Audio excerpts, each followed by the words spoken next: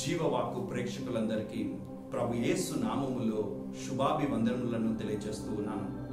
June పదమూడవ తేదీన మహాపునీతుడైన పునీత అంతోని వారి పండుగను తల్లి శ్రీసభ కొనియాడుతుంది. కనుక జీవవాకు ఛానల్ వారు ఈ నెల జూన్ నాలుగవ తేదీ నుండి పన్నెండవ తేదీ వరకు నవదిన ప్రార్థనలను తమ ఛానల్ నందు ప్రారంభిస్తూ ఉన్నారు.